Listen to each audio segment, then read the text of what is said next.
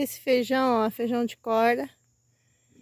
Começando a produção. As primeiras flores, as primeiras bagezinhas. Ó, é um pedaço pequeno. Mas dá pra gente comer umas bages aqui. O que eu quero mostrar é, eu andei plantando girassol pelo meio da roça.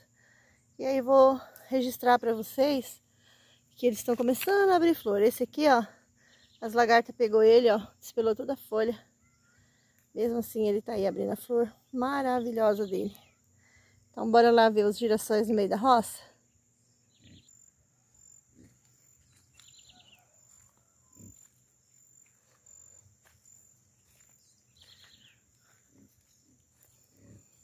Olha como que tá lindo, olha quanta flor. Maravilhoso, né, gente? Ó.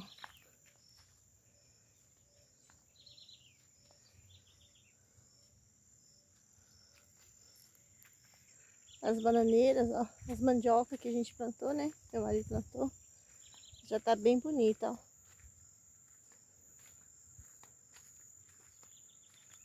Mas o que tá lindo mesmo aqui no meio são os girassóis. Ó vendo? Entre cada carreira eu plantei um pé de girassol, cada pé de banana. Ó.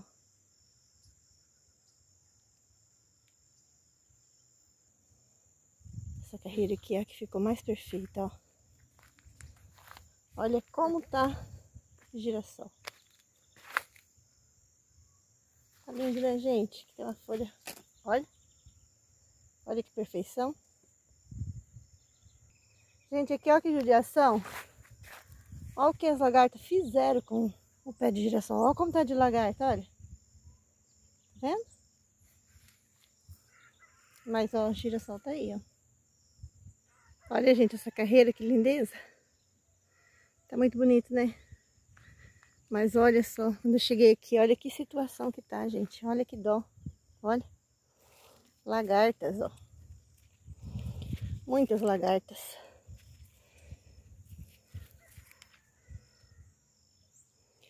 Gente, quando eu vejo, eu fico com tanta dó que eu vou esmagando. Olha minha mão como já tá. É uma covardia, não é? Olha, você vê a, a planta é a coisa mais linda e os lagartos comendo tudo. Fala se não dá tristeza. Olha aqui. Olha. Olha como essa flor tá. Olha essa.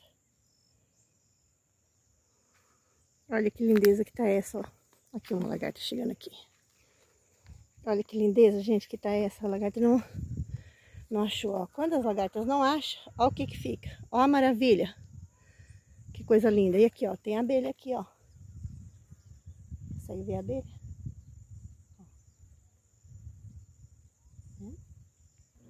Gente, vou, diante dos girassóis, vou recitar uma poesia do girassol aqui para vocês.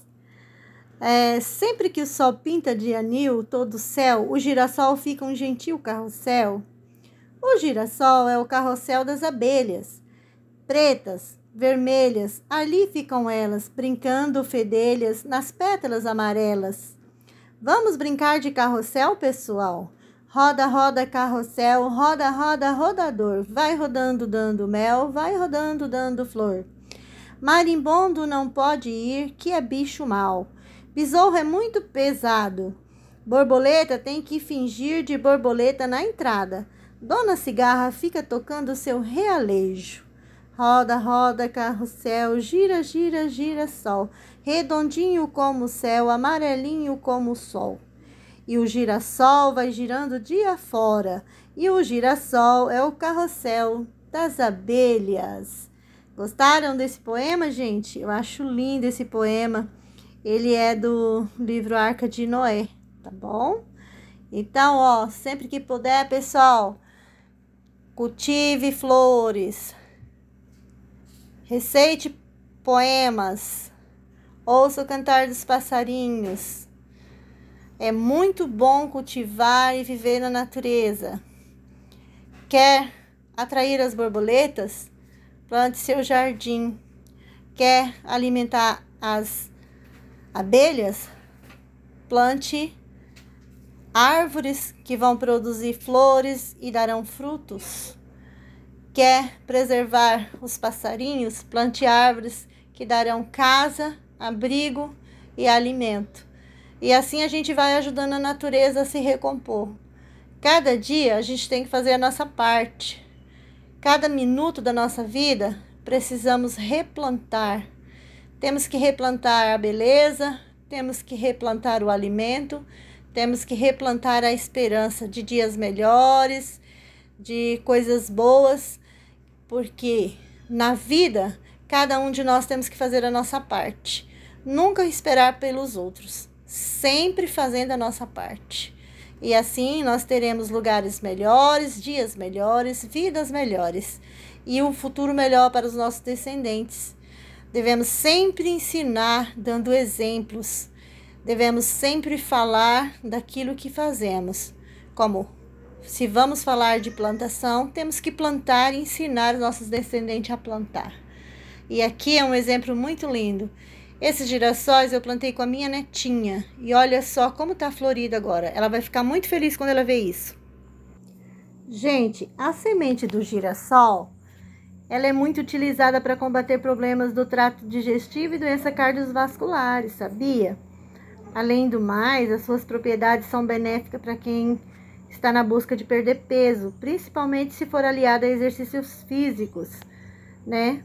Para recuperar a musculatura após algum treino. Então, a, o girassol, ele é excelente.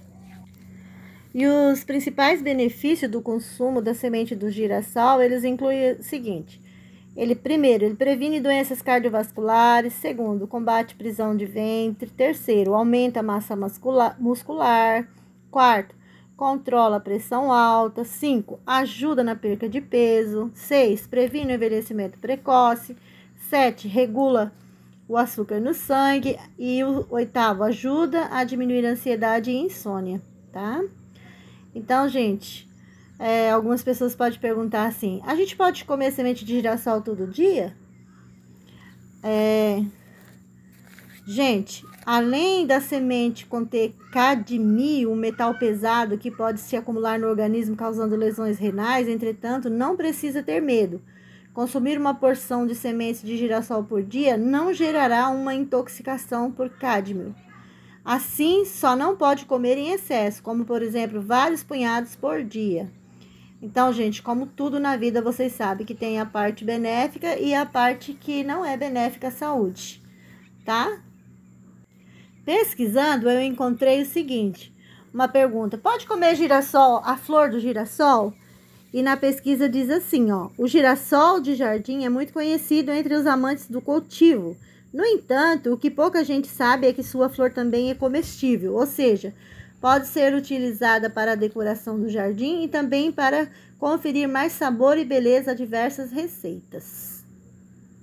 Outra pergunta é: é bom ter flor de girassol em casa? E na pesquisa eu encontrei o seguinte: o girassol é bastante procurado para compor os ambientes. Além disso, é considerado uma flor que atrai boas energias. A beleza da flor do girassol e o seu é, formato marcante são um dos motivos da sua grande procura para ornamentação. Ele atrai boas vibrações e sorte para os locais onde está inserido. Então, gente, bora cultivar girassol porque ele tem várias utilidades. Além do mais, você pode presentear as pessoas com as flores do girassol. Sabe o que significa ganhar um girassol de presente? Então, o significado é: um deles é a felicidade. Suas pétalas amarelas indicam lealdade, calor e entusiasmo, pois transmite a energia e a vitalidade do sol. Também em relação ao sol, o girassol simboliza adoração, pois seu miolo remete a uma cabeça que presta culto ao sol, sempre direcionada a ela. E aí, gente, algumas pessoas perguntam: o que significa o girassol na psicologia?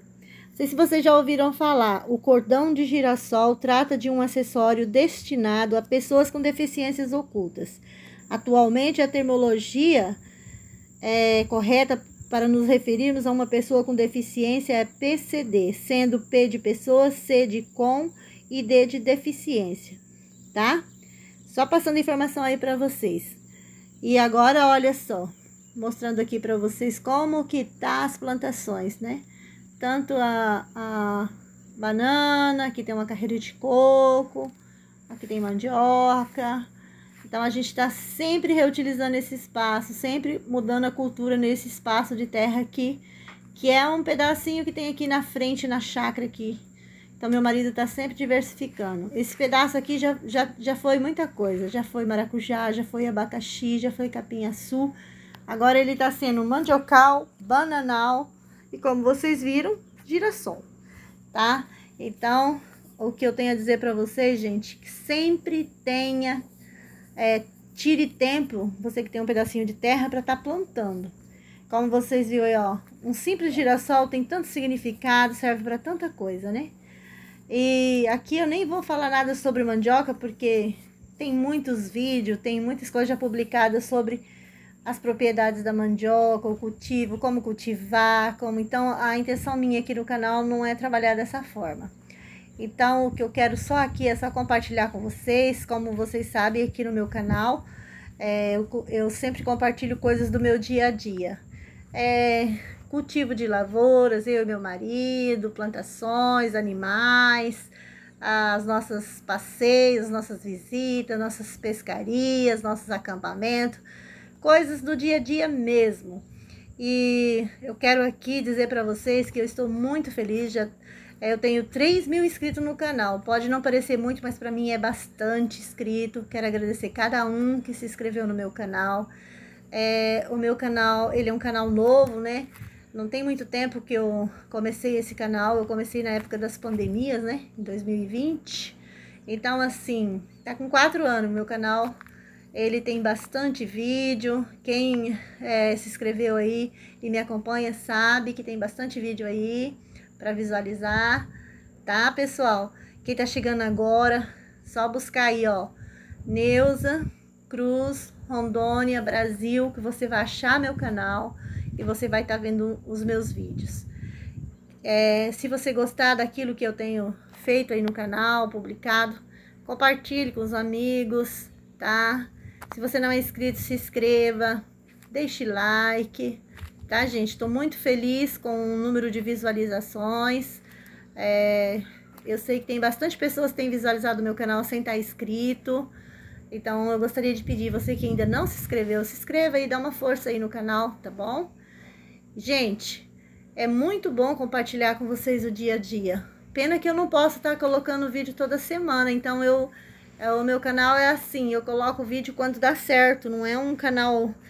É, como eu não sou é, monetizada pelo YouTube, eu só sou parceira do YouTube, então assim, eu coloco o vídeo quando é, eu tenho tempo para fazer, registrar e daí compartilho com os meus inscritos, com os meus amigos aí.